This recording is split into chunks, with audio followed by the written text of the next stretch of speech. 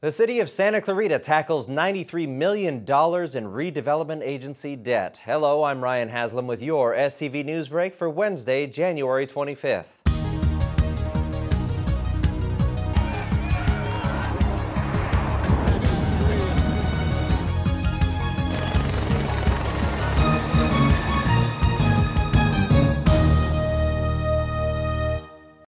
Santa Clarita's redevelopment agency is heading down a long, unwinding road now that the City Council voted Tuesday night to become the successor agency. So how does redevelopment get carried out from now on? It doesn't. The goal of the successor agency is really to wind down the activities. As of this legislation passing, we cannot take on any further redevelopment activities. There could be a temporary reprieve for redevelopment agencies if the state legislature passes and Governor Brown signs SB 659, which would delay dissolution by next week. The city is now responsible for paying the agency's bills with money that would otherwise have accrued to the agency. The city will also be paid a management fee of up to 5% of the property tax within the Newhall redevelopment project area to handle the books. Coming after the break, Congressman McKeon weighs in on the President's State of the Union address. And they're sitting in the Senate. The Senate has not addressed. This is Toyota Today. Smart, safe, and worry-free. We make SoCal go. Now, lease the all-new Camry, America's best-selling car, for only 249 a month. Or choose low 2.9 financing for 60 months and get Toyota Care complimentary maintenance. We make it easy on you. See your Southern California Toyota dealer. Caltrans plans to shut down a portion of Interstate 5 south of Santa Clarita overnight starting Sunday. The closures are part of a project to build a new connector between the 5 and the 170 and install carpool lanes on I-5 between the 170 and 118. Northbound lanes will be closed overnight between Sheldon and Osborne Streets Sunday through Wednesday. Southbound traffic will be shut down February 1st and 2nd. All closures will begin at 11.59 p.m. and end at 6 a.m. the following morning. Detours will be posted and traffic will be diverted onto Laurel Canyon Boulevard. Residents will begin a chance to chime in on Santa Clarita's One Valley, One Vision plan in downtown Los Angeles next month. The LA County Board of Supervisors is scheduled to hold a public hearing on the Santa Clarita Valley Area Plan update on the morning of February 28th.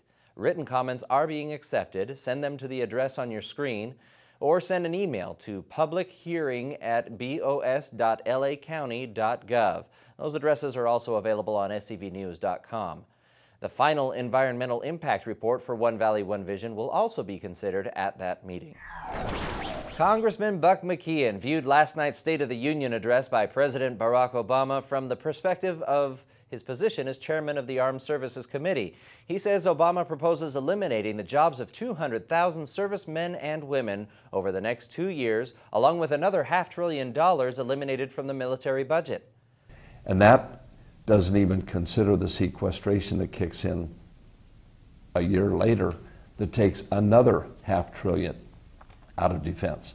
So that over the next 10 years, we'll be spending $100 billion a year less on defense.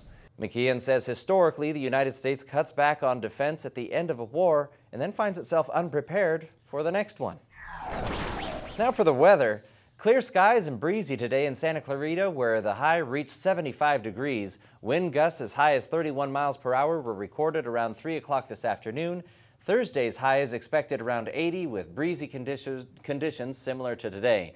We're looking at a potential of strong Santa Ana winds Friday night and into Saturday with gusts reaching 50 miles per hour and highs in the mid 70s all weekend long. And here to tell us what's going, what else is going on this weekend besides our weather and the wind blowing all over the place is our entertainment reporter, Stephen K. Peoples. Well, thanks, Ryan. On Friday night at 7, the West Ranch High School Studio A Jazz Band, the West Ranch Lab Band, and the Wildcat Combo are going to perform at the West Ranch High School Winter Jazz Concert. Band director Brian Leff will lead the students as they perform compositions by Gordon Goodwin, Dave Brubeck, Sammy Nestico, Pat Metheny, Bob Mintzer and Bob, uh, Bill Holman, excuse me. That's at the West Ranch High Theater. An adaptation of the beloved children's classic Peter and the Wolf takes the main stage at the Santa Clarita Performing Arts Center on Saturday afternoon. It's one of the shows in the PAC's almost free family series. Showtime's 2 p.m. and tickets go for 10 to $15. For details and ducats, visit canyonspac.com. Also Saturday night, the Santa Clarita Valley Blues Society throws its kickoff party for this year's International Blues Challenge competition in Memphis. Seven award-winning Memphis-bound local bands will take the stage at the Arcadia Blues Club starting at 6.45 p.m. Advance tickets are just $10 or $15 at the door. Visit arcadiabluesclub.com or call 626-447-9349 for tickets and more information. I'm Stephen K. Peoples with the SCV Entertainment Minute. Back to you, Ryan. Thank you, Stephen. And of course, for more entertainment news as well as all other local news, log on to hometownstation.com or scvnews.com. Thank you for joining us. I'm Ryan Haslam.